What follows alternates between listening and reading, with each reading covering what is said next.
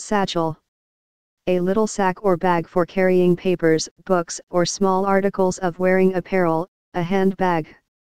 Spelled also satchel. The whining schoolboy with his satchel. Shack.